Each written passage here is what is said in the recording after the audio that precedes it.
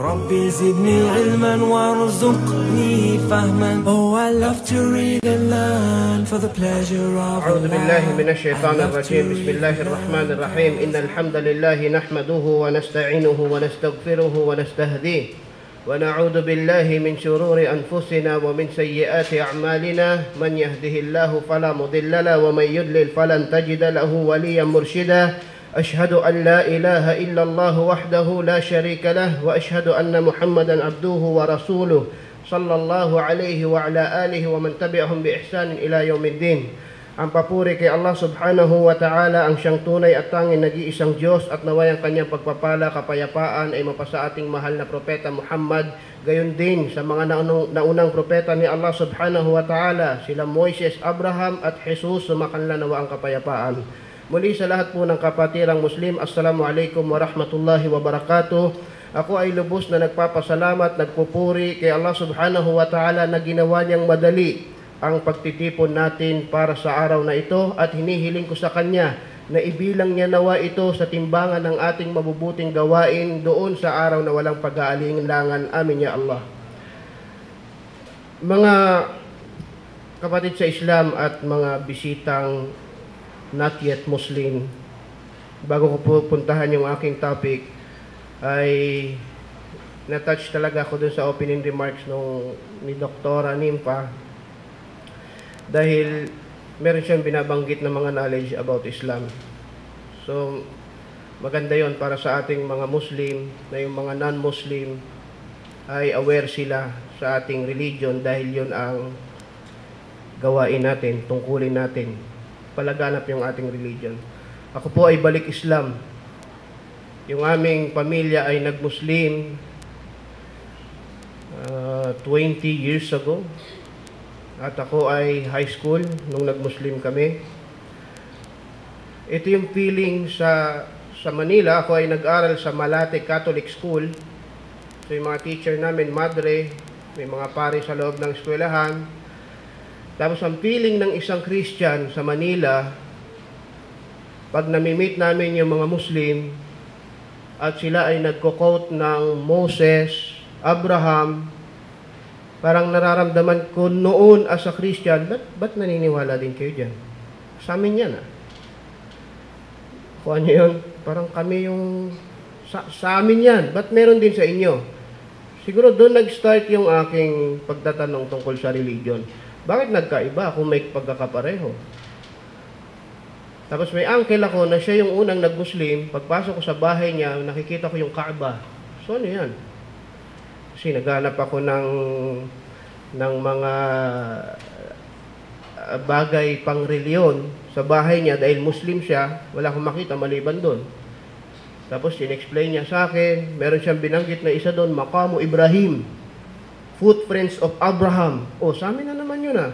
Pero bandang huli, kakatanong, kakatanong, mas marami silang sinasabi, mas marami silang sinasabi na hindi ko na nalaman sa kabila ng ako ay nag-aaral sa islang, sa isang Catholic school. So merong meron talagang kakaiba. At nung nag-aral ako ng Islam, mas marami akong natuklasan kay Jesus Christ sa Quran at sa pagtuturo ni Prophet Muhammad peace be upon him na hindi tinuro sa amin noong kami ay Christian. Subhanallah. Pero hindi si Jesus Christ yung topic ko, pero mas alam kong mas malaki yung dapat pag-usapan ng Muslim at Kristiyano kay Jesus Christ. So inshallah magkaroon tayo ng question and answer mamaya. Parang sinisenya sana ako ni Abu Ahmad eh. Huwag mo nang yan tap, huwag na yan tap. si Allah subhanahu wa ta'ala nagsabi sa Quran, وَرُسُلًا قَدْ قَصَصْنَاهُمْ عَلَيْكَ من قبل ورسلا لم نقصص عليك وكلم الله موسى تكليما Sinabi ni Allah subhanahu wa ta'ala sa banal na Quran, merong mga messengers, sugo. By the way, sa Islam, magkaiba yung prophet sa messenger. Sugo at propeta. Magkaiba sila. Discuss ko konti. Sa mga brothers, sa mga sisters, ano pinagkaiba? Ng rasul sa nabi. Pag ng rasul sa nabi. Kahit minsan sinasabi natin sinabi ng Rasulullah sallallahu alaihi wasallam o sinabi ng Nabiyullah sallallahu alaihi wasallam, ano pinagkaiba? Sa Christians, sa mga non-Muslim, anong pinagkaiba ng sugo sa propeta? Sugo sa propeta. May bayad ba yung tanong dito, yung pagsagot? Wala pala eh. Libre. Baka may gusto mag-share ng knowledge. At matu... Ayun! Allahu Akbar. Bismillah. ang pinagkaiba ko sa atin, kullo rasulan nabiyan, wala isa kullo nabiyan rasulan. Hindi lahat ng rasul ay sugo at ang lahat ng sugo ay rasul. Linaw. Hindi lahat ng ah, nabi ay prophet, ah, messenger. Okay, okay. Ah. Jazakallahu khair. Lahat ng sugo ay nabi, pero hindi lahat ng nabi. ah, lahat ng sugo ay propeta, pero hindi lahat ng propeta ay sugo. Makes sense. Pero ano, mas mas detail. Sige. Ah, yung yung prophet or yung nabi o yung o yung nabi o prophet is parang certain local place lang. Tapos yung yung mensahero, yung sugo is parang universal ng Mhm. Kasi yung nabi, may mga nabi na nag-fail sila. Mhm. Tapos yung mga yung, yung sinabi ng aknat nila, yung rasul, ay yung nabi na naging rasul, parang nag-develop pa yung yung power na ibigay sa kanilang Allah kasi parang nag-succeed sila pagiging nabi. Jazakallahu khair. Na. Na nako ako ah, ililinawin ko. So pagka pagka rasul, sugo, mas malawak yung jurisdiction. Pangkalahatan. Yung prophet naka-confine lang. Si Isa alayhi salam, rasul. Pero siya ay sa Bani Israel. So na-confine siya doon. So may problema sa definition. Sheikh Uthaymin rahimahullah, Sheikh Uthaymin po ay scholar ng Islam. Ang sabi niya, ang mga propeta ay nakatanggap ng wahyu, revelation, propeta. Paano intindihin ito ng non-Muslim? Sa non-Muslim, meron din mga eksena sa pagtuturo ng reliyon ng Kristyanismo na si Allah nagbibigay ng message sa kanyang gustong pagbigyan ng message at yung pagbibigay ng mensahe na yon tinatawag namin sa Islam na revelation. Sa Arabic, wahyu. Halimbawa, dumating si Jibril, si Angel Gabriel kay Maria at sinabi niya, Aba, ginaong Maria, napupuno ka ng grasya, bukod kang pinagpala sa babaeng lahat. May kapareho sa Quran. Inna Allah astafaki wa tahharaki wa faddalaki. Maria, ikaw ay pinili ni Allah, dinalisay ka ni Allah sa lahat ng babae, bla bla. Ang tawag dun sa pagbibigay ng message na yon ay wahyu, revelation. So ang mga propeta, ang pinagkaiba, ito. Ang pinagkaiba, ang mga propeta ay nakakatanggap ng revelation, walam yu'mar bitablighihi. Nakakatanggap sila ng revelation, pero option nila kung kung ipapalaganap nila yun o hindi. Hindi ginawang obligatory sa kanila ni Allah Subhanahu wa Ta'ala. Samantalang ang rasul, ang mga sugo, binigyan ng revelation at ginawang obligado sa kanila ang pagpapalaganap nito. Nakuha niyo pinagkaiba? Kaya sinabi ni brother, lahat ng rasul ay nabi, pero hindi lahat ng nabi ay rasul. May nadagdag ba? Wala. Importante yon kasi malalaman natin kung sino ba yung kung sino ba yung propeta at sino ba yung sugo.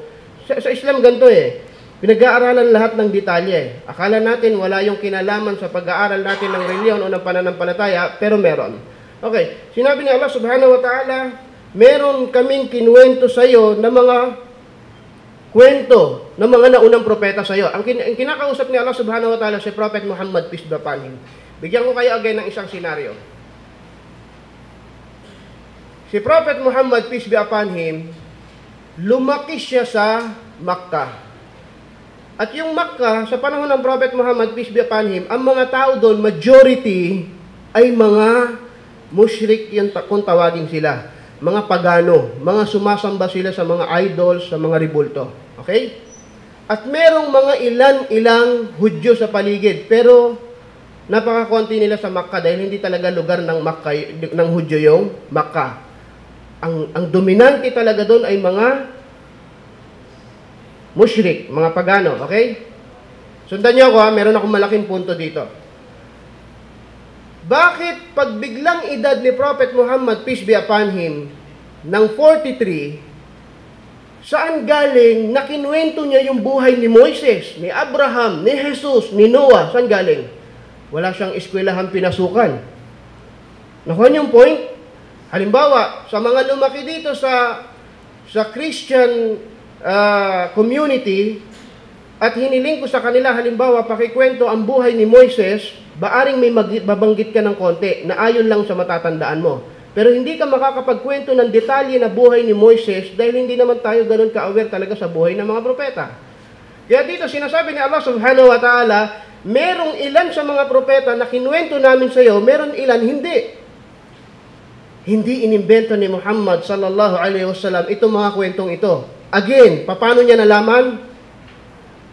Revelation, wahyu. Nak- Nakuha niyo yung point?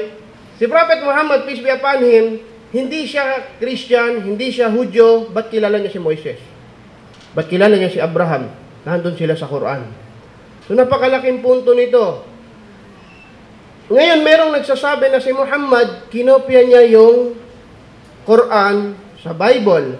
Pero hindi to magmimit na argument. Hindi to hindi magwawagi yung argument. Bakit? Si Muhammad sallallahu alaihi wasallam ummi. Hindi siya nakakabasa, hindi siya nakakasulat. So, walang way para kumuha siya ng Bible at Arabikin niya at sabihin niya, ito yung revelation sa akin. So, maraming points dito, pero gusto kong makakuha tayo ng mas maraming topic.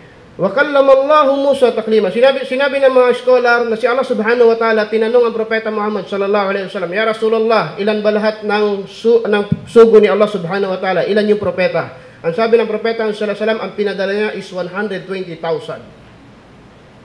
At ilan lang yung at ilan lang yung sinabi sa Quran? Ang sinabi sa Quran ay 25.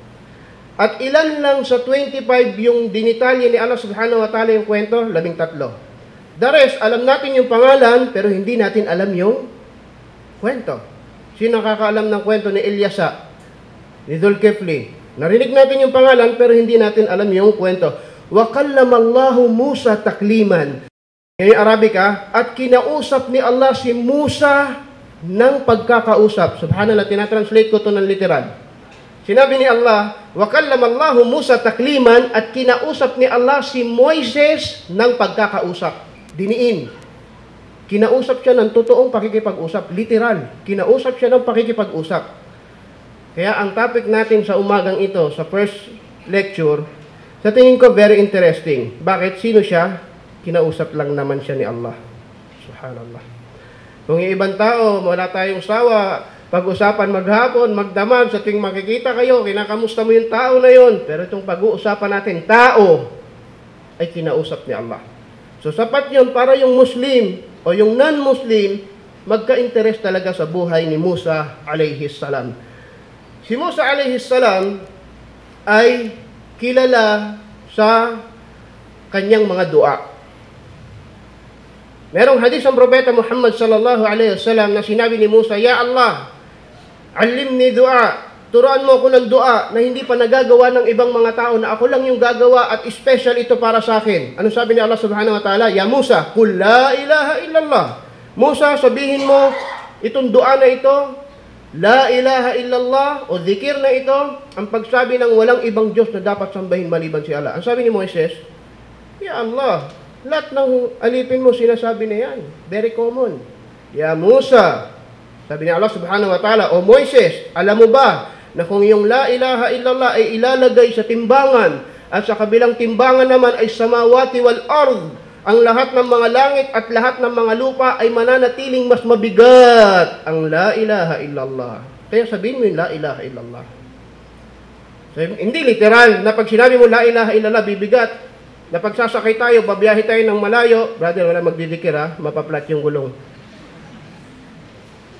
Oh, hindi yun ang ibig sabihin, although nakakarinig tayo noon. Tungkulin nyo na ituwid yun. Mga maling paniniwala. At alam ko, alam nyo kung ano sinasabi ko. Famous dua, Musa alayhi salam, bago, siya, bago niya kausapin si Pharaoh. Inutusan siya ni Allah subhanahu wa ta'ala na pupunta si Pharaoh, bago siya pumunta doon, ano sinabi niya? Rabbi shrah li sadri, Hindi ba pinapractice to? وَيَسِّرْ لِي أَمْرِي وَحْلُلْ أُقْدَةً مِّن لِسَانِي يَفْقَهُ قَوْلِي Si Musa alayhi salam yung nagturo sa atin. No? Galing, no? Di ba, pag kinakabahan ka, mag-speech ka, ikaw ang mag-opening mamaya. Ha? Naku, kinakabahan ako. May dua ako, ito. Yeah, memorizein mo mamayang gabi. Bukas wala na yung kababa. Ano yun? Rabbi, siya- kakausapin ni Moises si Fir'aun eh. Fir'aun! Nagdua si Musa, Rabbi, shrah li sadri, Ya Allah, paluwagin mo yung aking dibdib. Wayassir li amri, padaliin mo yung aking gawain. Wahlul uqdatan min lisani, tanggalin mo yung buhol sa aking dila. Yafqahu qawli. Isang napakagandang dua sa gustong magsalita sa harap ng mga tao. You see? Rabbi shrah li sadri wa yassir li amri wahlul uqdatan min lisani yafqahu qawli. Sa isang tagpo sa buhay ng propeta Muhammad sallallahu alaihi wasallam, merong lumapit sa kanya habang siya ay namamahagi ng butis of war, anfal, ganima.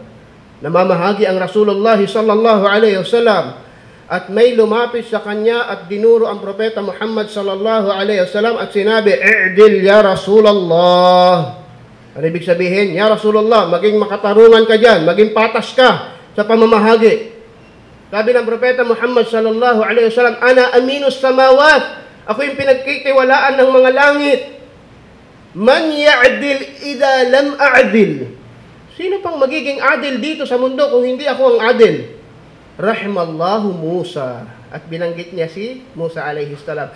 Kaawaan ni Allah subhanahu wa ta'ala si Musa. Bakit? Kasi itong ginagawa mo sa akin, tingnan niyo yung senaryo. Yang ginagawa mo sa akin, ginawa kay Musa ng mga tao niya ng maraming beses at kaawaan siya ni Allah dahil nasabaran niya yon. Ibig sabihin, muntik, muntik magalit ang Rasulullah sallallahu alaihi wasallam dahil, hoy, maging maadil ka. Sa kabila ng pagiging adil niya, kini-question siya ng ganun. Kaawaan ni Allah subhanahu wa ta'ala si Musa, si Moises, na pagkatapos silang iligtas kay Fir'aun at nasa paglalakbay na sila, wala silang kapayapaan dahil sa napakarami nilang kahalingan. At napakasakit pa nila magsalita. Sinasabi nila, Moises, sabihin mo sa Diyos mo. Astaghfirullah al-azim. Sabihin mo sa Diyos mo, hindi masarap pagkain namin. Niligtas sila. Rahimallahu Musa. Kaawaan ni Allah subhanahu wa ta'ala si Moises dahil nasabaran niya yun. Nasabaran niya yung mga ginagawa sa kanya. Nakaka-relate ba yung mga non-Muslim? Of course, I'm sure. Si Moises. Pagharap ng ng ano to? Holy Week. Di ba pag Holy Week, madilig tayo manood ng ano? Sa TV, ng mga Lenten special. Pero ngayon, wala na, tinatalo na ng FB. Kahit Holy Week, online ka. 24-7. Lenten special, Lenten special. Pero mag-Holy Week na naman, at least nagpo-post yung mga tao ng something about Holy Week. Kaya walang tao siguro dito sa Iligan na walang background ng mga sinasabi natin patungkol kay Musa alayhi salam o kay Moises. Isa pa, sa panahon ng propeta Muhammad sallallahu alaihi wasallam, habang sila ay nagmamarcha patungo sa isang digmaan, marru ala shajaratin. Dumaan sila sa puno. At nakita nila na yung mga tao doon, or rather, naalala nila na yung mga tao doon ay nagsasabit ng kanilang mga sandata doon sa puno. Ang sabi ng mga sahaba, Ya Rasulullah, pwede mo ba kaming gawan din ng puno, mga bagong Muslim to, pwede mo ba kaming gawan din ng puno na isasabit namin yung aming mga armas doon para pag kinuha namin ulit, malakas kami. Tabarruk. Humihingi sila ng biyaya o ng dalangin, ng barakad doon sa puno. Again, ang propeta sallallahu alaihi wasallam, innaha sunan. Inuulit niyo ba yung mga masasamang pangyayari katulad ng nangyari sa panahon ni Musa alaihi salam na konting makakita ng pagkakataon ay magsishirk sila kay Allah subhanahu wa ta'ala, magtatambal sila. Natatandaan natin si Musa alaihi salam, iniwan niya yung Banu Israel at pumalik siya sa bundok para para tumanggap ng kautosan kay Allah subhanahu wa ta'ala. Pagbalik niya, anong ginawa nila? Pinagsama-sama nila kailang mga ginto at gumawa sila ng ribulto at sinamba nila yun. A'udhu billah. Ngayon, humihingi sila ng puno para sumamba dun sa puno. Ang pagsamba ay kanino? Kay Allah.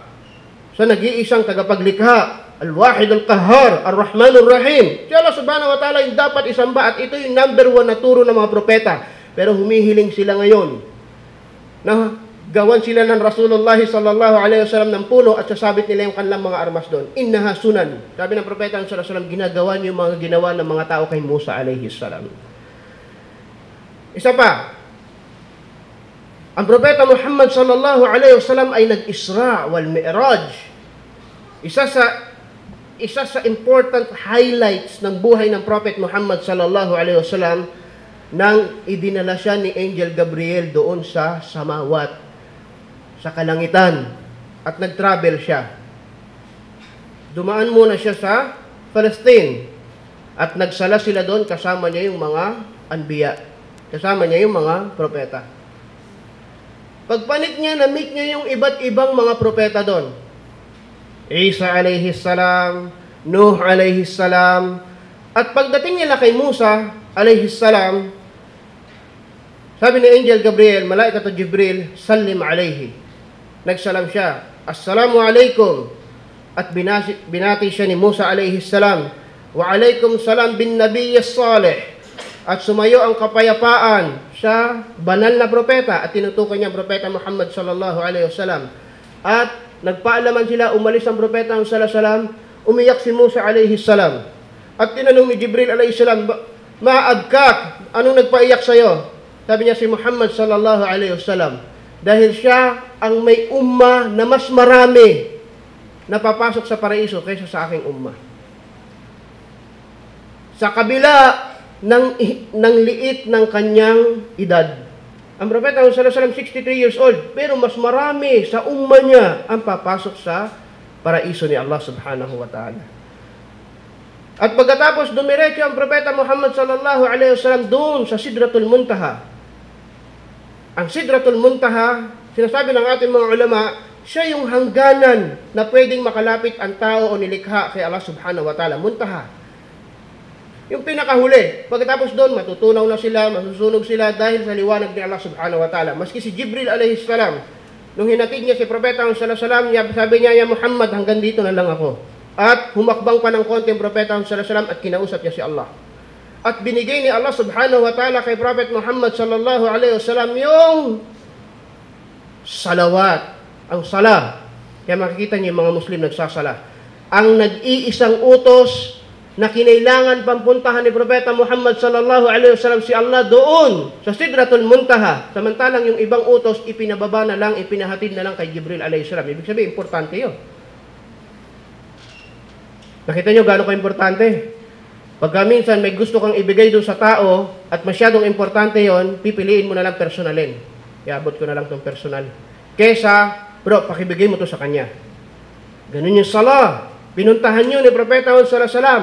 At pagbaba niya, nakasalubong niya ulit si Musa alayhi salam. O ano nangyari? Ano na pag-usapan niyo? Ano sabi ni boss? Inutusan kami magsala ng limampung sala. Sabi niya, bumalik ka dahil hindi kakayanin ng umma mo. Sabi ng ating mga scholar, kung 50 ang sala natin ngayon, nagsasala tayo every 25 minutes. Pati yung salatul Jum'ah puputulin natin para magsala ulit. Dahil yung khutbah ng Jum'ah aabot ng 25 minutes, kailangan siya putulin para magsala ulit. Paano nyo kakayahin? 20, every 25 minutes ng 24 hours, nagsasala yung mga Muslim. Subhanallah. E bumalik ka doon. At tumawad siya kay Allah subhanahu wa ta'ala pagbaba niya ilan? 40 na lang. Sabi niya, hindi kaya, balik ka pa. Bumalik siya kay Allah subhanahu wa ta'ala, pagbalik niya ilan? 30. Nagpabalik-balik siya hanggang sa pagbalik niya kay Musa alayhi salam. Ang pinupunto ko dito yung pagmamalasakit ni Musa, ni Moises, sa umma ng propeta Muhammad sallallahu alayhi wasallam. At pagbalik niya, lima na lang. Sabi niya, balik ka doon, hindi pa rin kaya. Pastahyait, sabi ng propeta Muhammad sallallahu alayhi wasallam, at ako ay nahiya na. Ako ay nahiya na. Kaya meron tayong khamsa khamsun. Sabi ng ating mga ulama, meron tayong limang sala, pero pinanatili ni Allah yung kanyang gantimpala na limampu. Allahu Akbar. Pinatili niyang limampu, kahit na lima yung ating sala. Pero marami sa mga Muslim, Masya Allah. Salatul Fajr.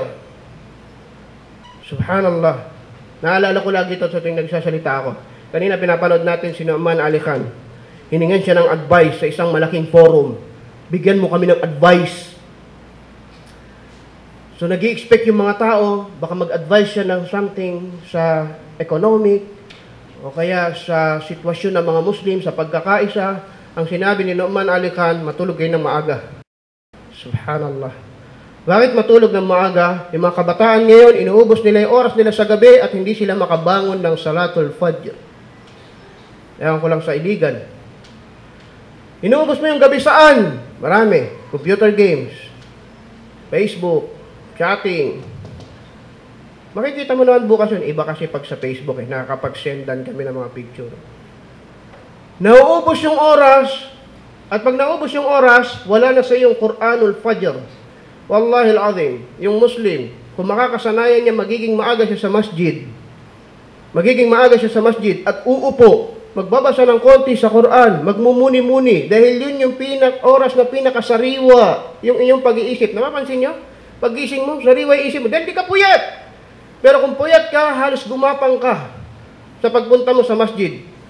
Pero kung nagawa mo yun, nagmuni-muni ka at dinamdam mo, ninamnam mo yung Quran al-Fajr, tinatawag ni Allah subhanahu wa ta'ala yung Salat al-Fajr na Quran. Bakit? Sa mga imam, doon ka magpahaba ng sala dahil yun ang sunnah ng propeta sallallahu. Doon ka nagmumuni-muni, doon mo dapat maramdaman yung mga hindi mo nararamdaman sa iyong pananampalataya. At naramdaman mo yun isang, isang beses, dalawang beses, tatlong beses at nagpatuloy. Kung ang salatul fajr ay hinawakan mo ng mahigpit, nagiging madali sa iyo ang lahat ng mga sala. Allahumma a'ina na fi katratis salah. Ya Allah, pagtibayin mo kami sa pagkakaroon ng matibay na uh, paghawak sa pagsasala. Mga kapatid sa Islam, si Musa alayhi salam, katulad ng sinabi natin kanina, ay may pinakamaraming banggit na propeta sa Quran. Subhanallah. Kaya nakakahiya yung isang Muslim na walang alam patungkol kay Musa alayhi salam. Tapos marami kang alam sa ibang bagay.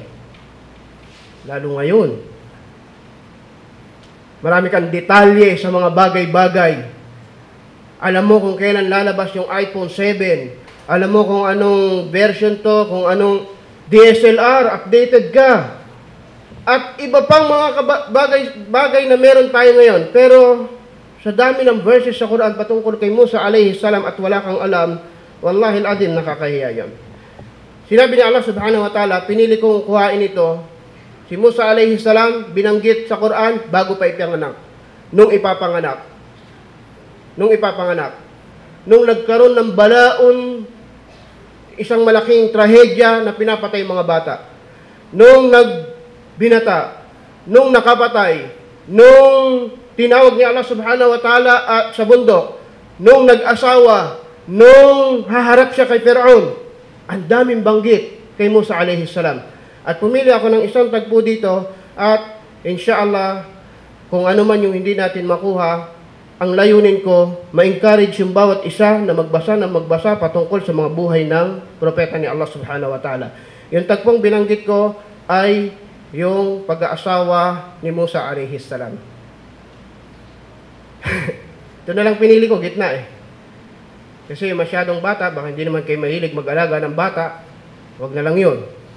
At yung debate nila ni Firaon, masyadong malalim. Baka pag labas nyo, pagod na pagod na kayo sa kakaisip ng kanilang mga argument. Pero yung usapin ng tungkol sa pag-aasawa ay hindi kinakapaguran ng mga tao pag-usapan. Di ba? Walamma balaga asyuddahu wastawa ataynahu hukman wa ilman wa kadhalika najzil muhsinin at nang si Musa ay dumating sa asyuddahu, nung kalakasan ng kanyang katawan, may, may, may, mayroong school of thoughts kung kailan talaga yung pinakamalakas na edad ng mga tao. May idea kayo? May, may opinion to ng ating mga minamahal na mga scholar. Pero nagsasabi sa kanila sa edad ni Isa alayhi salam. Jazakallah khair. At yun din yung edad ng Uruban at Raba, yung mga babaeng napapangasawa ng mga lalaki sa paraiso. Uruban at Raba. So, dito walang binanggit na edad, pero walang mabalaga asyuddahu. Nung si Musa alayhi salam ay dumating na sa kanyang kalakasan, ay binigyan namin siya ng talino, kaalaman, wa kadhalika najzil muhsinin. At ganyan namin binibiyayaan ang mga matutuwid o mga mabubuti na, ma- na mga tao.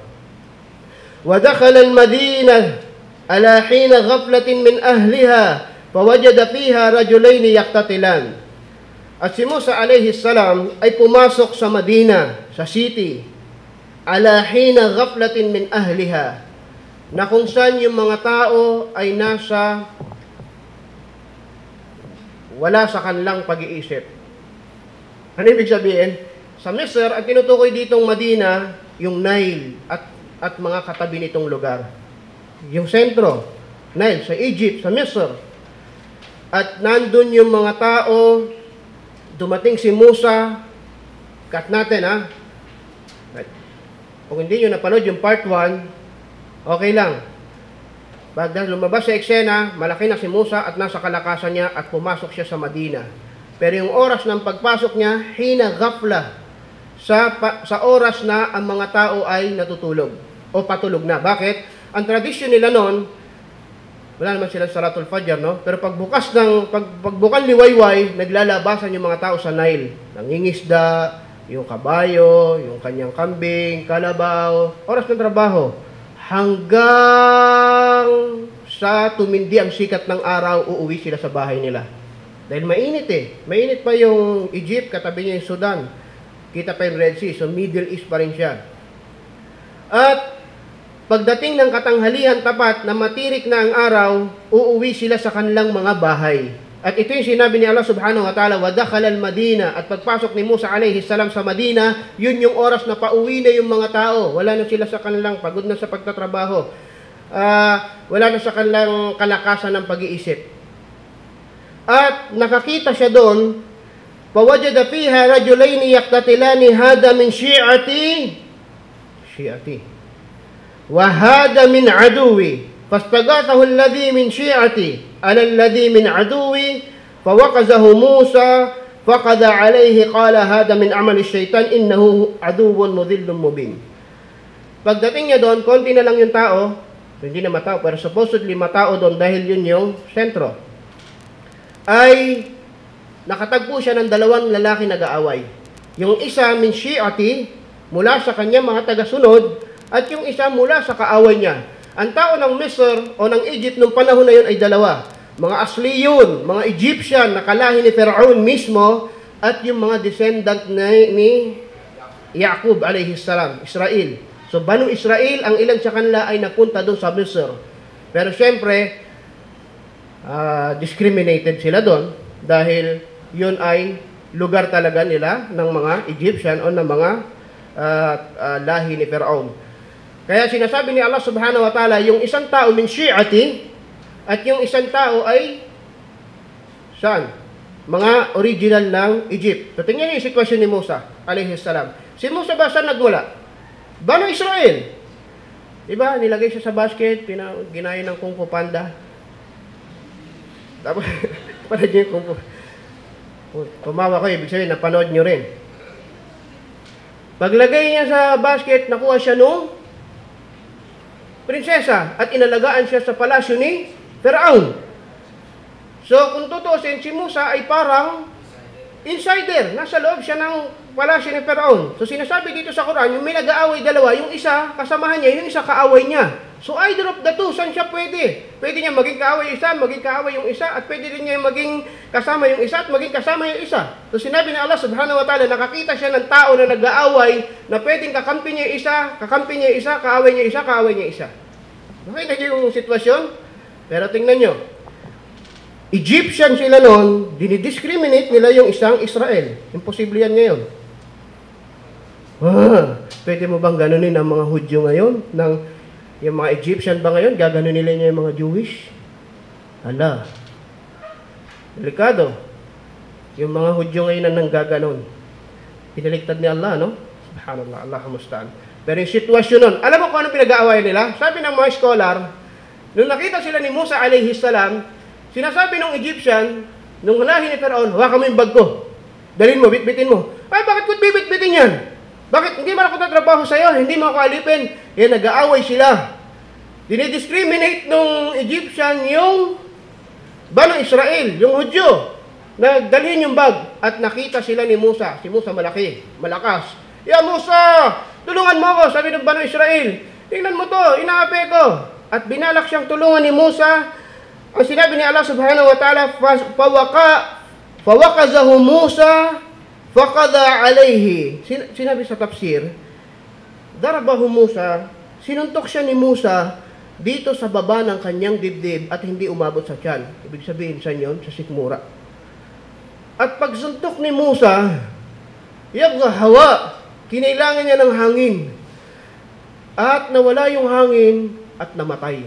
Isang suntok, Musa alayhi salam. Talo si Pacquiao kasi wala pang napatay si Pacquiao sa suntok.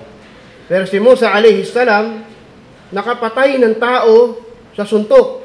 Pero merong mga scholar nagsasabi, kaya nila ito tinaalik. Kasi maaring hindi yun ang dahilan. Hindi, hindi lahat nung nakita natin nung pagkamatay niya, siya yung cause ng kamatayan. Saudi Arabia, meron nag-away sa parking at parehong eksena, may sinuntok at namatay. Pero nung pinag-aralan medical in autopsy, sinasabi na meron siyang uri ng sakit at na-trigger lang yon nung pagsuntok niya. Hindi talaga yung pagsuntok yung nakamatay. Ka- Kaya nila sinasabi to, kasi si Musa alayhi salam, nakapatay siya ngayon. Fakhafa, natakot siya. Bakit? Haharap siya sa korte ni Faraon. Pero sa korte ni Faraon, hindi mo pwede sabihin yan kasi meron siya tunay na sakit, tapos yung suntok ko naging dahilan. Si Faraon yun! si Faraon kahit walang kasalanan, papatayin niya. Kasi pag nakita mo yung tiyan, sa ilalim niya, may, may, may hangin niya sa ilalim, tinamaan yun eh. Pero hindi talaga siya mga... Si Pero nung sinabi sa kanya na meron sa Bano Israel, kukuha ng kapangyarihan mo, isisilang sa panahon na ito, sa araw na ito, patayin niyo lahat ng bata. Ngayon, magpapaliwanag ka ng kaso mo. So, hindi na, ni, na natakot si Musa alayhi salam. At lumipas yung isang gabi at isang araw ay yung mga tao hindi pa rin alam yung kung sino yung pumatay. Sa sa bandang ah, sa eksena na yon, sa Kalakar, sinasabi ng mga scholar na yung tinulungan niya na Bano Israel, yun din yung nagsabi sa tao na si Musa ay malakas. Hindi sinabing si Musa yung pumatay, pero sinasabi niya sa mga tao, si Musa yung malakas. Ibig sabihin, ang makakagawa nito ay si Musa alayhi salam. Sinuplong siya no, kanyang tinulungan na hindi nakakapagtaka dahil yung mga Bano Israel ay nakababait na mga tao. Joke yun! yung Hudyo mababait, joke yun. Hindi sila mabait. Baka may maniwala eh. Qala Rabbi inni zalamtu nafsi. Subhanallah. Inadmit ni Musa na nagkamali siya. Inni zalamtu nafsi. Faghfirli. Innahu huwal ghafurur rahim.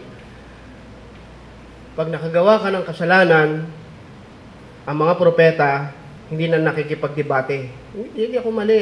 Sila yung mali, medyo nagkagad... Hindi. Ya Allah, faghfirli. Dalamtu nafsi. Ginawa ko talaga ng kamalian yung sarili ko. Lahat ng propeta. Si Musa alayhi salam, Nabiyullah, Rasulullah, Kalimullah. Isa sa napakagandang titulo ng propeta ay siya yung kinausap na direkta ni Allah subhanahu wa ta'ala. Ngayon nagkamali siya, obviously, hindi niya gustong patayin. Pero tinamaan niya dun sa hindi dapat tamaan, namatay yung tao, innahu min amali syaitan. Katotohanan naggawa yun ng syaitan at patawarin mo ko ya Allah. May napakagandang punto dito. Qala Rabbi, bima an'amta alayya fi uh, falan akuna dhahiran lil mujrimin. Tingnan niyo to. Napakagandang message para sa mga kabataan, sa atin. Sabi niya, O Panginoon ko, bima an'am alayya, yung binigay mo sa aking ni'ma, biyaya, ay hindi ko dapat ginamit na zahiran lil mujrimin, na, na para gawin sa kasalanan. Nakon yung punto. Ya Allah, binigyan mo ako ng lakas, pero ginamit ko sa mali. Ang nakakalungkot ngayon, ang nakakalungkot ngayon, kung gusto ko lang magtagal sa aya na ito, Maraming tao merong kakayahan, binigay ni Allah subhanahu wa ta'ala, an'am, an'ama ali. Binigyan ka ni Allah subhanahu wa ta'ala, let's say, sinasabi natin yung mga matatanda, di marunong sa computer eh. Kami alam namin. Wido. Pag binuksan nila yung computer, alam ng kabataan kung saan nakalagay yung mga, kung paano siya pipindutin. Napapansin niyo mga ba- bata, ginaganyan yung mga iPad. Wala namang turo sa kanila. Pero ginaganyan nila. Alam nila na ganun mag-zoom in, mag-zoom out. Instinct ng mga kabataan. Kaya yung computers, design sa isip ng bata. Kaya yung medyo may may edad na, paghawak ng computer, kailangan mo pa siyang bigyan ng introduction. Kailangan mo pa siyang turuan na ganito yan, ganito yan. Pero yung bata hindi. Oh, yan. Alam nila agad. Pero subhanallah, yung kaalaman na ito ng mga kabataan, mas malaki yung pagkakataon na ginagamit nila ito sa kamalian. No.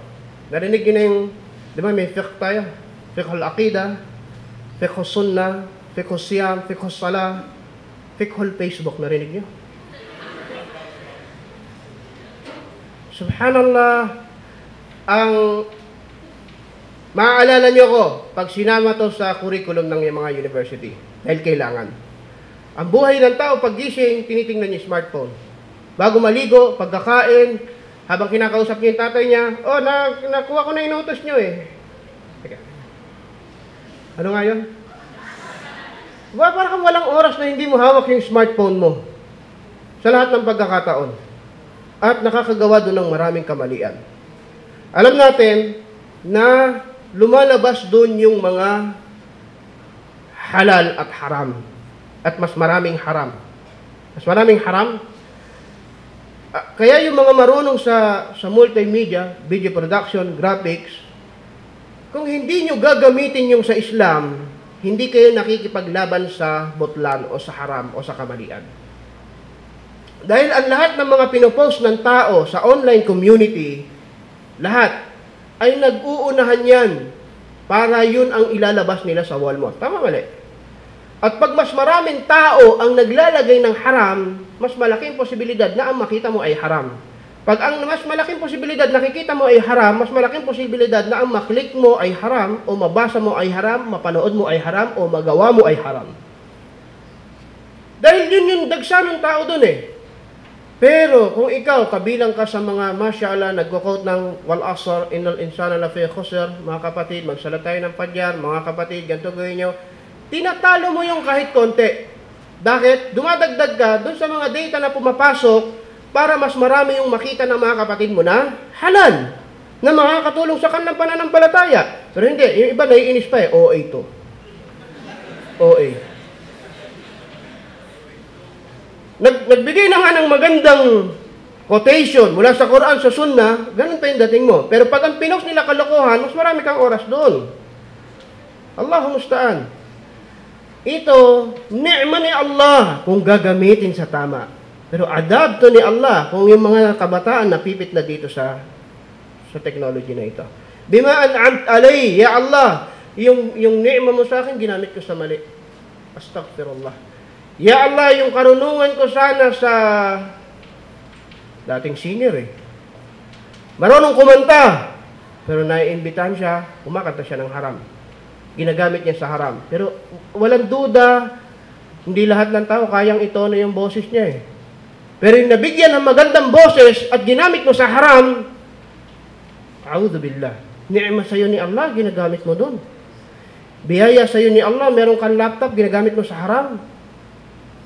Kaya mashallah, yung advice ng brother, sa laptop nyo, pagbukas, lagyan mo sa gilid ng message, Allah is watching you. Pagbukas mo, Allah is watching you. Dahil magagamit mo sa haram. Ano pa? May sasakyan ka? Gamitin mo sa, gagamitin mo sa haram? Ano pa? Marunong ka sa camera? Ginamit mo sa haram? May mahaba kang lente? Inabot mo yung haram na dapat panoorin at pinost mo sa Facebook? A'udhu billah. Ano pang biniyaya sa'yo ni Allah na ginagamit mo sa haram? Ni'ma ni Allah. Pero mas maraming nangangailangan nun sa serbisyo ng kanyang reliyon sa pagpapalakas ng iyong pananampalataya. Wallahi al-azim. Wallahi al-azim. May mga kapatid tayo, marunong gumawa ng graphics. Saan ginagamit? Yung dunong mo sa Photoshop, saan mo ginagamit? Yung dunong mo sa video editing, saan mo ginamit? Meron ka bang, may camera ka? Nung may camera ka, inisip mo ba, pupunta ako sa lecture eh, nire-ready ko yung camera ko. Bakit? Ibibideo ko yon. Baka may mapulot ako mabuti at makalimutan ko, papanoorin ko ulit. At least sa sarili mo. Pero yung sumunod na pagkakataon, sinare ko sa iba. Nag-benefits yung iba dahil doon sa ginawa mo. Pero ba't ka may camera? Lahat tayo may camera. Saan nyo ginagamit? Selfie. Totoo! Selfie. Nagme-meeting kami. Ito na, announce ko na. Nagme-meeting kami tungkol sa Towards Peace 2015. Darating si Mufti Menk at si Wael Ibrahim. Narinig nyo na? Siyempre. Nagme-meeting kami. Magkaiba sila ni Sheikh Mahir, yung imam ng Makkah. Kasi Sheikh Mahir, ang gusto ng tao, pag nahawakan siya, gusto siya mahawakan. Kaya mahigpit ang security. Human barricade. Nag-meeting kami. Kasi Imam Mahir yan. Hindi siya dapat makahawakan. Bakit? Naisip ng iba, pag nahawakan siya, surga na. Dahil imam eh.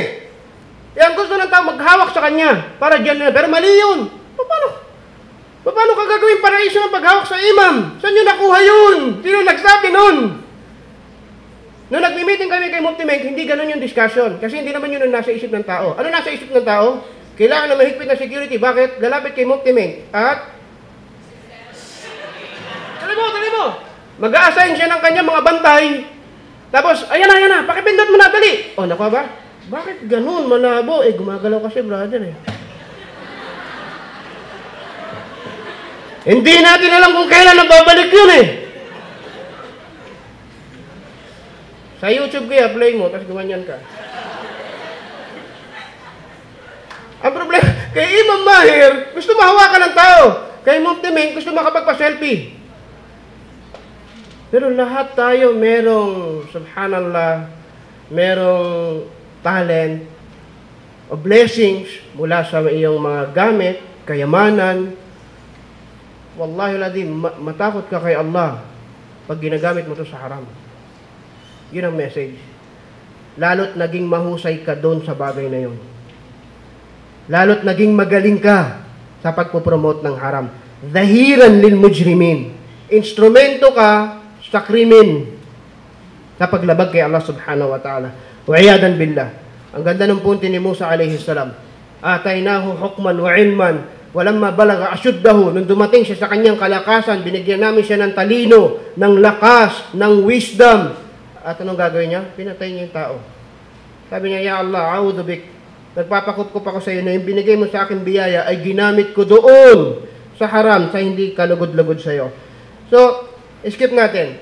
فَخَرَجَ مِنْهَا خَائِفًا يَتَرَقَّبُ قَالَ رَبِّي نَجِّنِ مِنَ الْقَوْمِ الظَّالِمِينَ Si Musa alayhi salam, tingnan niyo yung punto na ito. Bawat tagpo ng buhay niya nagsisimula sa dua. Bawat tagpo ng buhay ni Musa alayhi salam, kinakausap niya si Allah, Ya Allah, gawin mo maganda to. Ya Allah, sana mag-ayos yung punta ko doon. Sana, Ya Allah. Gusto ko rin itong bigyan ng pansin kasi yung tao, pag masyadong magaling sa kanyang sarili at ginagawa niya ng lahat ng kadahilanan, nakakalimutan mo magdua. Totoo yun. Halimbawa, napakatali-talino mo, sobrang talino mo, mahilig ka sa math, magaling ka mag-English, darating yung test. Sa sobrang, pagdating ng test, magre-review ka ng sobra. At kinakaya mo, matalino ka eh. Pero makakalimutan mo yung dua dahil naging abala ka sa dua, ah, sa, sa pagre-review, at nakafocus ka sa galing mo. Yung sahaba, radiyallahu anhu, nakatsinelas sila. May uri sila ng tsinelas na madalas mapatid. Sinasabi ng ilang mga scholar na pati yung sahaba na yun, pag napapatid yung kanyang sinelas, Ya Allah, tulungan mo sa tsinelas ko. May kabit ko sana to, Ya Allah. Si Musa alayhi salam, tinuturuan tayo na ganun, na kada kilos gagawin mo, ihingi mo kay Allah subhanahu wa ta'ala kahit na kaya mo. Kasi pag kaya mo minsan, nakakalimutan, nakakalimutan mong tumawag kay Allah subhanahu wa ta'ala. Kahit pa asin, wala kang asin sa bahay, Ya Allah, urzuk na milhan. Ya Allah, bigyan mo kami ng asin. Baka natutuwa tayo, bakit? Ang dali-dali lang nun, mura lang yung asin eh. 25 pesos pang isang taon na, hindi na mauubos. Ya Allah, bigyan mo kaming asin, Ya Allah. Kahit walang, kahit walang halaga. So mapapansin natin, lahat ng tagpo sa, bu- sa buhay ni Musa alayhi salam, ay ay meron dua. Fakar, fakaraja minha khaifan. Lumabas siya doon sa lugar nila Firaun nang may takot siya. Yatarakab kala Rabbi najini min al-qawmi zalimin. Ya Allah, iligtas mo ko dito sa mga taong gustong paparusahan. May isa pa ditong punto. Si Musa alayhi salam, ngayon subject siya ma mahatulan sa korte. Pero dahil wala siyang tiwala sa korte ni Firaun, hindi niya bibigyan ng katarungan, umalis siya. Yun din nangyayari sa pelikula, di ba? Yung mga bida umaalis, hindi nagpapahuli. ولما ورد ماء مدين وجد عليه أمة من الناس يسكون Pumasok na siya sa, sa Madyan. Assalamualaikum.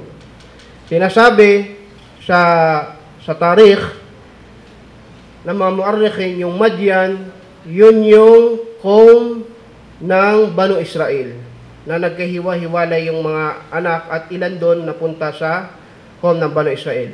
Yan ang isang opinion. Pero may nagsasabi din na yun yung uh, kaum ni Ismail alayhi salam. So may mga different opinion, pero pagpasok ni Musa alayhi salam dun sa isang city ng Madian, ang mga tao doon ay naniniwala kay Allah. Mga tauhid, mga Muslim. So pagpasok ni Musa, naghahanap siya ng lugar na kung saan doon siya mag stay dahil hinahanap siya sa sa Egypt, hinanap niya yung tubig. Pagpunta niya sa isang city, ang hinahanap niya kung saan yung mga tao. Ngayon, pagpapasok kayo sa isang city, hanapin niyo yung mall. Nandun yung mga tao. Pero noong panahon ni Musa alayhi salam, pagpasok niya sa isang syudad, ang hahanapin niya tubig. Bakit? Doon nagkukumpulan yung mga tao. At naabutan niya doon yung dalawang babae na hirap ng hirap mag-igib sa balon. Makatbo ko ma, sabi ni Musa alayhi salam, dahil walang tumutulong sa kanila at yun ay hindi gawain ng babae. Gawain ba ng babae pag-iigib? Hindi. Makatbo ko ma, bakit kayo gumagawa niyan? Abu na sheikhan kabir. Yung tatay namin, matanda na, sheikh. Kaya walang gumagawa nito. Akin yan gentleman si Musa alayhi salam. Tinulungan niya. At naigib nilang lahat. Pagkatapos nilang maigib lahat, nakainom pati yung mga kambing, lahat, kumpletong pagtulong. Merong mag- ang ganda ng binanggit sa aya, pagkatapos silang tulungan ni Musa alayhi salam, Teka, hanapin ko. Fasaka lahuma thumma tawalla ila dhil فقال ربي إني لما أنزلت إلي من خ- من خير فقير Tingnan nyo, another point. Okay, limitado na yung oras ko, pero eh, pagkasyahin ko to. Kaya makinig kayo, kasi pag na, ano, nadidistract ako, may iba ako naiisip eh. So, pagkatulong sa kanila, ang normal na tao, oh, ano yung sa akin? Ikaw na bahala sa akin, boss, ha? Di ba ganun yung sa tuwing, sa tuwing hihingi ng pabor yung tao? Ang ginawa ni Musa alayhi salam, pagdating niya tumulong, pumunta niya siya doon sa puno, sa dil, sa lilim. Kasi gusto siyang bigyan ng paano ka namin mababayaran. Okay? So, sa madaling salita, ayoko hindi naman yan ang ano ko eh, ang habol ko eh. Ya Allah, biyayaan mo ako ng mas malaki dahil sa ginawa kong tulong at hindi ako kukuha ng biyaya sa kanila. Nakuha niyo yung punto? Alam niyo yung mga taxi driver, pag nakakaiwan ng pera yung mga pasahero, ibinabalik.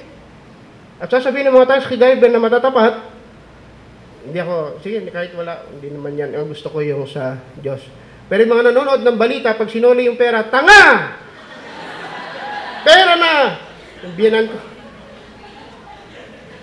Sinasabi nila, tanga! Pera na, binalik mo pa! Pero binabalik. May mga taong ganun. Si Musa alayhi salam, isa sa mga ganun tao. Ayaw niya. Sige, pumunta siya sa deal. At isa pa, pick na yun. Babae yun eh. Lalaki siya. Ah, pag tumulong ka sa babae, huwag ka na makipagkwentuhan. Kung ano lang yung gagawin, yun na yung gawin mo. Ah. Saan ka ba na nakatira? May Facebook ka.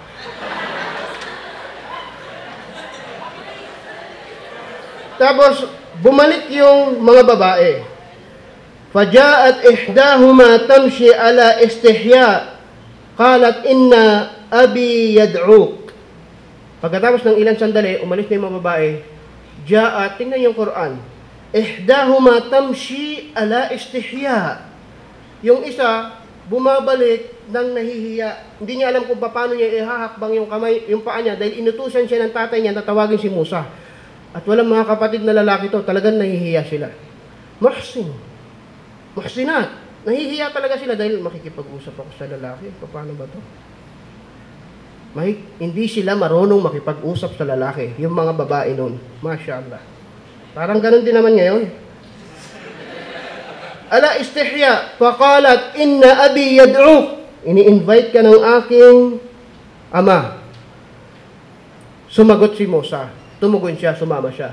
Ang tanong, kala ko ba ayaw niya ng ng bless, ng ano, ng kapalit? Iba na ang pinag-usapan ngayon. Papakita ko yung pinagkaiba. Kasi may tao nagkakamali sa punto na ito eh. Gumawa ka ng mabuti. At si Allah subhanahu wa ta'ala, pwede kanyang bigyan ng gantimpala sa buhay na ito at sa kabilang buhay. Yung pagbalik ng babae, business offer na to, dahil alam ni Musa, alayhi salam, na yung tatay nila ay tajir. Dahil nakita yung kambing, may nagpapainom, at walang worker na lalaki. Okay? So gumawa siya ng kabutihan, nabuksan yon at pwede siya magkatrabaho. Kaya yung taong nakapulot, nagsoli ng pera, na taxi driver, nandun na sa Europe ngayon, nagtatrabaho. Nabalitaan niyo yun? Dahil inoperan siya, nagagawin siyang worker doon sa kumpanya dahil sa katapatan niya. Iba na ngayon, dahil nag-uusap na tayo professionally. Business. O sige, may proposal ba kayo? Parang, pagbalik niyo mo sa alayhi salam, anong proposal niyo at yun ang tingnan ko. At kailangan ko na matutuloyan dahil nag, naghahanap sa akin yung mga tao. At sabi,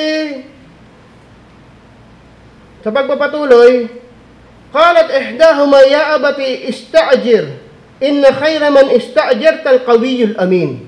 Okay na. So dumating doon. Nagkaroon sila ng offer. Anuhin mo siya, ah, tawag dito, i-hire mo siya at magtrabaho. Tapos sama na kami mag-igib tayo. Tapos hindi naman namin trabaho ng lalaki yan. Nagpapakain kami ng mga baka, ng mga hayupan. Ito malakas, nakita namin. Wa aminun. Hindi lahat ng magaling na nagtatrabaho mapagkakatiwalaan. Allahu musta'an, ang katangian na yung pinagsama kay Musa alayhi salam, magaling to, malakas to, at the same time mapagkakatiwalaan. Kaya sinabi ng anak, Tay, i-hire mo. Di ba ganun yung mga anak na babae? Pag may crush? Tay, kilala niyo ba yung kapitbahay dyan sa kabila? Ma- Magalang siya. Ano pakialam ng tatay mo doon? Hindi kasi kanina naglilinis yan. Tinulungan niya matanda, baka ka lang napansin mo. Kasi... Tsaka bibisita daw siya mamayang gabi ay. Subhanallah. Tingnan niyo yung senaryo. Tinulungan yung babae. Sinasabi ngayon nila sa tatay niya, eto tay, kunin mo na. Mapagkakatiwalaan to, tsaka malakas. Kapagod na pagod na kami. Kaya ang business proposal sa kanila, Kala inni urido an angkihaka ihda ibnatay. Hatayni ala an ta'jurni tamani hijaj. Sabi ng tatay nila, ang proposal ko sa iyo, ipinaasa, pina, paasawa kita, papakasal kita sa isa sa dalawa kong anak. Ang kapalit, paglingkuran mo ko ng tamanya hijaj. Hijaj hajj. Ang, ang taon ng tao, binibilang nila noon sa pagbisita sa Hajj. So, 8 years, kung makumpleto mo yung 8 years, bahala ka na. Kung makumpleto mo yung 8 years. Pag pinagpatuloy mo ng 10, mabuti rin. So, si Musa alayhi salam, kailangan niya ng matutuluyan at sinabi sa kanya ng nung tatay, huwag ka matakot dahil ligtas ka dito. May problema ko doon sa Egypt, wala kang matutuloy. Kaya ang ganda ng offer. Ang ganda ng, ano lang ba nangyari? Ano lang ba ginawa ni Musa alayhi salam? Tumulong lang sa pag-iigib. Tapos nung pagtulong niya sa pag-iigib, binigay sa kanya lahat, lahat ni Allah subhanahu wa ta'ala. Wala kang matuluyan yan. Kailangan mo asawa, yan. Kailangan maging propeta ka. Lahat. Dumating lahat dahil sa pagiging matapat niya ng isang sandali. Ang sabi ng ating mga eskola, kinumpleto ni Musa alayhi salam yung sampun taon, saka sa tinawag ni Allah subhanahu wa ta'ala doon sa Jabalut Tur at binigyan siya ng revelation. Pero tingnan nyo, love story, di ba? Wala. Hindi naman. Love story yon. love story yon. Kasi doon siya nakapag-asawa eh. Kaya lang, Ang gusto kasi natin ngayon, pag sinabing love story, may romance, nakakakilig. Anong nakakakilig doon? Tinuro siya ng igib ah. Yun, yun na yun. Yun na yun. Gan, ganun sila nung panahon nila. Ang isang magandang paghahanap ng makakaisang dibdib mo ay mas konti yung nagawa niyong pagkakamali, mas darating yung baraka ni Allah subhanahu wa ta'ala. You see? Kasi sa mga taong naghahanap, gusto mag-asawa, saka gustuhan mong mag-asawa, nakakagawa sila ng mga haram. Eh kung hindi ko gagawin to, hindi ako makakapag-asawa. Iba na mga tawa ng panahon ngayon eh. Ano, kakausapin ko yung tatay? tatay ang iba natatakot, ang corny, walang, paano, kailangan namin magkakilala muna. Ang tamang pag-iisang dibdib, yung wala kayong nagawang haram, mas dumarating doon yung baraka ni Allah subhanahu wa ta'ala. So sana maitanim natin sa isip natin yon At lastly, ah, napakaganda na yung magkakaibigan, magkaka-organization, nagsasama-sama para sa ganitong gawain sa Islam. Jazakumullahu khair. Biyaan kayo, ganyan pala ang kayo ni Allah subhanahu wa ta'ala at magkagawa pa kayo ng masigit kaysa dito. Sa isang aya, falam ma fama lana min syafi'in wala sadiqin hamim. Sinabi ni Allah subhanahu wa ta'ala yung mga tao nagsasalita sila wala daw silang syafi, wala daw silang magsasyapa sa araw ng paghuhukom, wala sadiqin hamim. Sabi ni Ibnul Qayyim rahimahullah, yung mga tao pag nasa paraiso na, na natatanggap na nila yung biyaya ni Allah subhanahu wa ta'ala, tatanungin sila, ano pang may hiling nyo? Nasa paraiso na kayo, yung mga salihon, yung mga banal. Sasabihin ng ilan sa kanila, Ya Allah, hindi magiging kumpleto yung aming kasiyahan dito sa paraiso kung hindi namin kasama yung aming kaibigan. Subhanallah. Hadis. Ibn al-Qayyim, sa explanation na sa aya na ito, Ya Allah, masaya kami, nandito kami sa Jannah. Pero may kaibigan kami. Kaya yung mga, ta yung mga tao, nagtataka sila doon sa, sa nar, sa Jahannam, bakit may naalis? Meron bang nagsyapa sa kanila na mujahidin, na hafidul Quran, o kaya anbiya? Sila na naman nagsasyapa eh. Wala. Pero meron silang kaibigan. Subhanallah. Iyakum. Pag ang kaibigan mo dinadala ka lagi sa reliyon, magiging dahilan ng pagpunta mo sa paraiso. So sinabi nila meron kaming kaibigan na pag nandito sila sa paraiso, kompleto yung aming kasiyahan. Kaya pinakuha sila ni Allah subhanahu wa ta'ala sa Jahannam at nilagay sila doon sa paraiso ni Allah subhanahu wa ta'ala. So, nasa sa inyo kung sino yung gusto nyong piliin kaibigan at naway patibayin tayo ni Allah subhanahu wa ta'ala. Jazakumullahu khair. Kami ay natutuwa at muli kami nakabalik dito sa inyong ah, university, in particular dito sa Iligan. Loobin nawa ni Allah subhanahu wa ta'ala na magkasama pa tayo sa mas maraming gawain na nakakalugod sa Kanya.